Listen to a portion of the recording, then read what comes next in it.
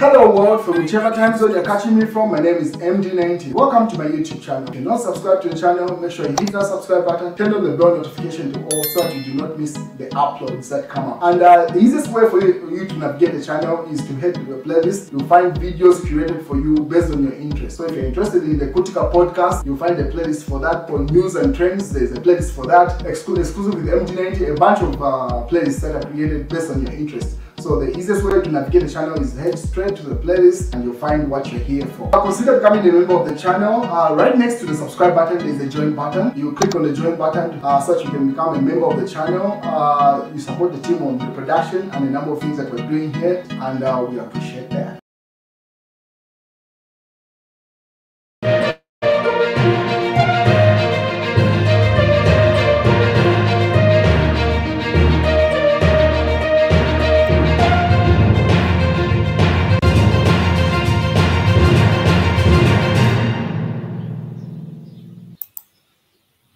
So former President Edgar Chagwa Lungu met up with the uh, group of um, uh, clergy, the same team that had met uh, President Hakainde Hichilema a week ago, and then had prayer session with the incumbent President Hakainde Hichilema. Did the same thing with Edgar Lungu yesterday at Cathedral of the Holy Cross. So these are some of the images that came from that. Uh, what is Chief Atayari uh, makes a statement with regard to what Mao Sampa said. So Chief Atayari says, Mao Sampa celebrates the jail sentence of uh, Katanga, the former police um, deputy inspector or general of police, and urges the courts to send more of the PF guys to jail, uh, Mukose, and then he laughs it out loud.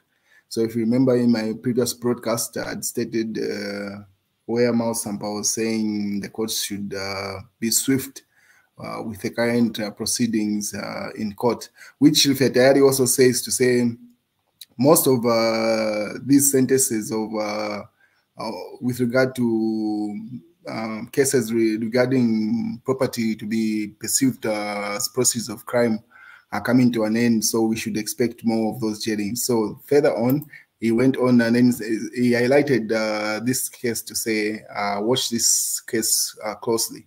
So this is the case in which uh, Saboi Imboela, the NDC president, uh, is scheduled to appear before Lusaka Magistrate Court uh, at 14 hours for the continuation of a defense in the matter involving uh, the alleged defamation of State House Chief Communication Specialist Clayson Hamasaka. So Chief Atayari says uh, that's a case you should watch out for. Uh, maybe you know something. We'll wait and see how that plays out. But all this was just like a build up for what he really wanted to say. So he has been avoiding making political statements for a while, but you can tell that he's eager to give his political opinion because everything that he's trying to do on uh, his uh, pages uh, with regard to advising on social issues and not catching on as much as when he makes political statement. So eventually he was compelled to make a statement. I'm pretty sure he's going to start going live again and making statements with this regard. So this is what he really wanted to say, Chief Fedali. So he put up this article. He says, don't get excited. 2026 can go either way.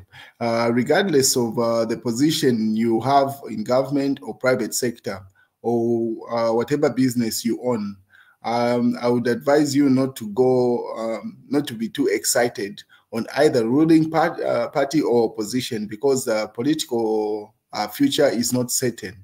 Uh, it is a 50-50 situation in 2026, he says.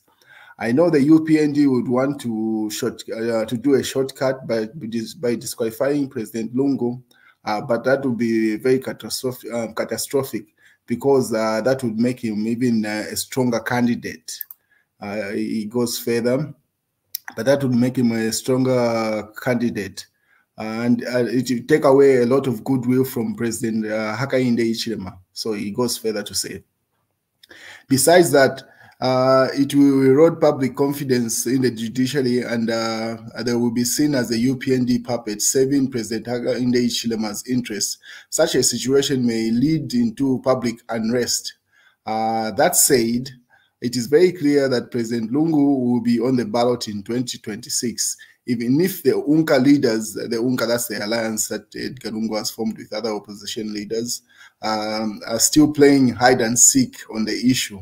There is no leader uh, who has more political inbuilt than Edgar Chagwa Lungu in that UNCA alliance or the entire opposition. However, uh, the, the, former president can transfer that uh, to another person if he so wishes.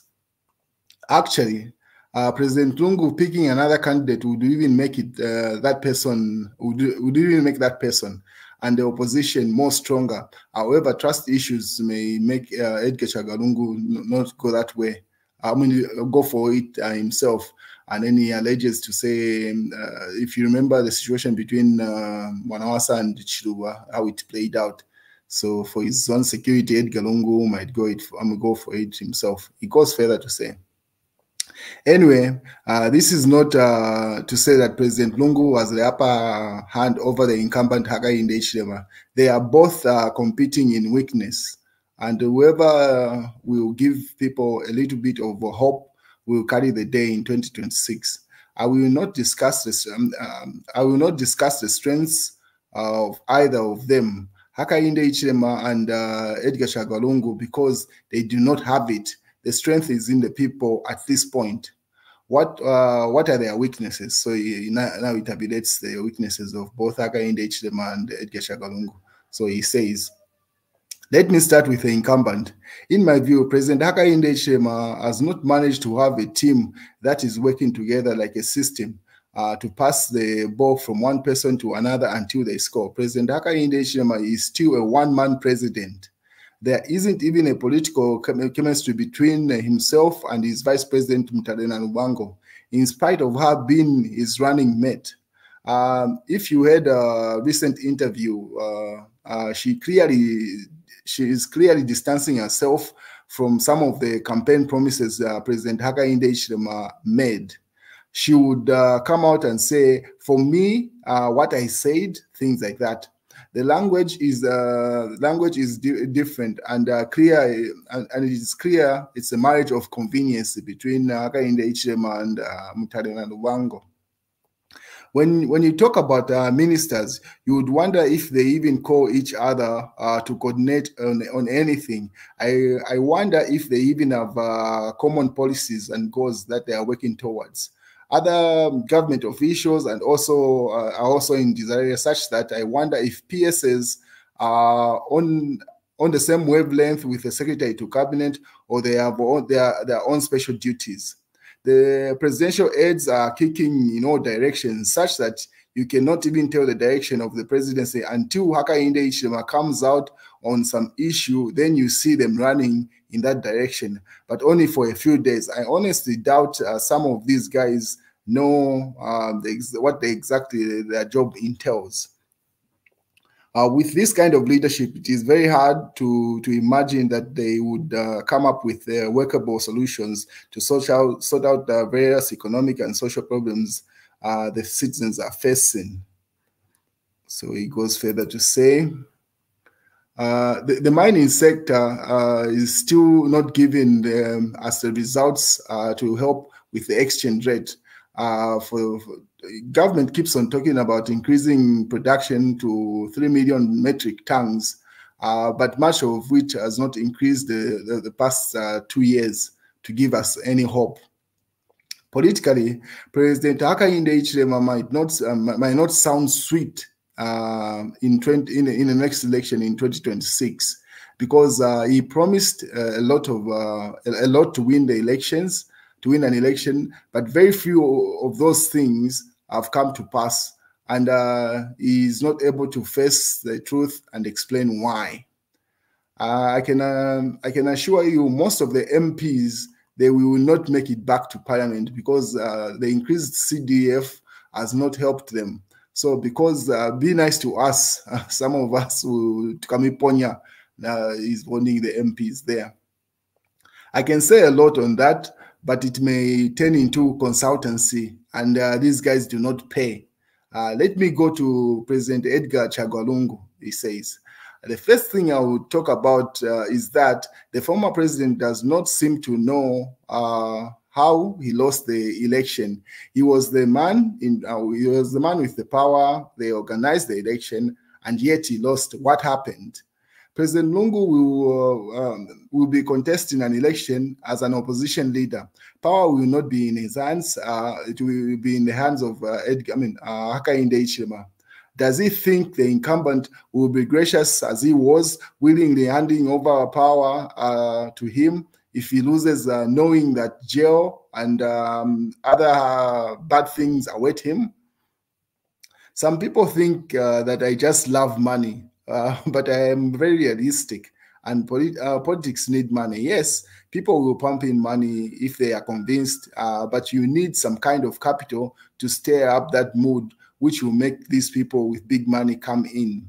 in other words, President Lungu and the UNC and his UNCA group need to mobilize resources uh, probably from the outside because a lot of uh, people locally do not have that money. And I am talking about big money because they will be fighting against uh, those in power. Of course, President Lungu attracts crowds organically wherever he goes, but we need uh, those crowds bust up uh, from Matero, Chawama, Kanyama, such that uh, it secure i mean it scares the police to stop him from going anywhere he would like and should uh, like it, it, used to be when Hakainde Hichilema was in opposition.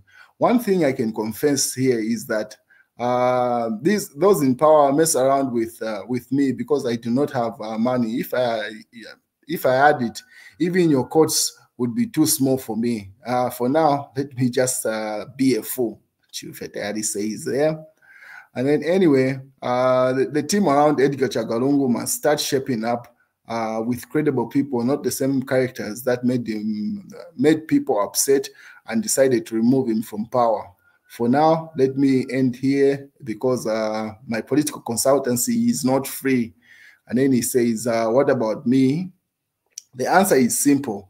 This is politics. I will work with anyone who can assure me of my freedom to speak my mind for the people and uh, make me look after my family. He said, so that's the opinion he's been trying to issue for a while, but he's been dying inside because he has a number of um, cases in court.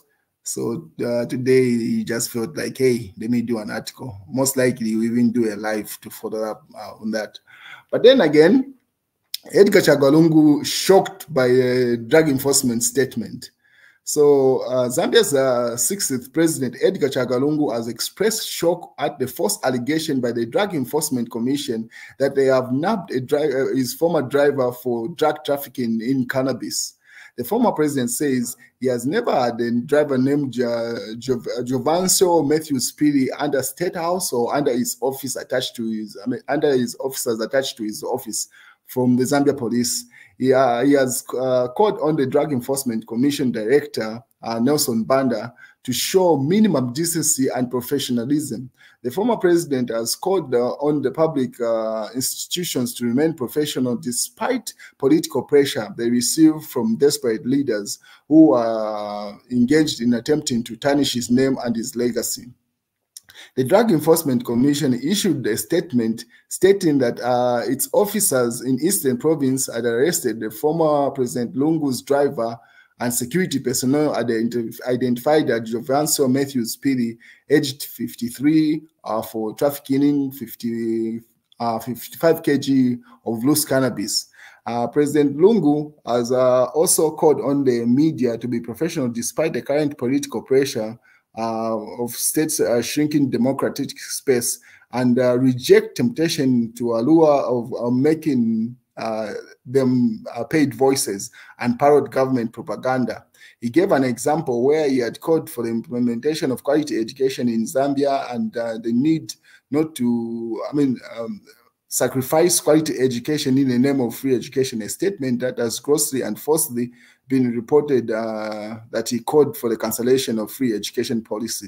President Lungu said Zambia is facing a serious crisis, um, is faced with serious crisis, challenges of the economy and disease outbreaks, and worst costs of living in, in many decades. He said Zambia was facing a threat of food insecurity following the drought that we're currently experiencing. He said the concern about food security was so serious that may worsen the current economic conditions uh, that we are currently dealing with. So uh, this was issued by Emmanuel Mwamba, uh, chairperson of information and publicity in the Patriotic Front and member of the Central Committee on behalf of Edgar Chagwa Lungu. So that's the news, ladies and gentlemen. Channel. Make sure you click on the subscribe button, you click on the notifications to get the notifications of every video that I upload. I try to upload every week, sometimes every day of the week, but definitely each week you expect a video. So make sure you click on the subscribe, like this video, and there's much more on the playlist. So visit the channel and see you around.